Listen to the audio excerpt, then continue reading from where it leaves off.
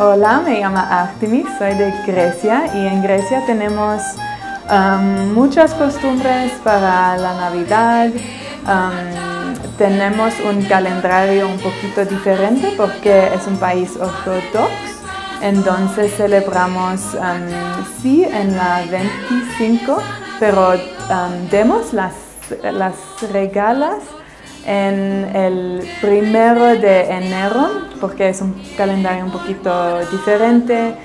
Y también una costumbre muy grande es um, los niños van a, las, a sus vecinos en sus barrios y cantan canciones tradicionales con, um, con instrumento triángulo y las canciones se llaman calanda.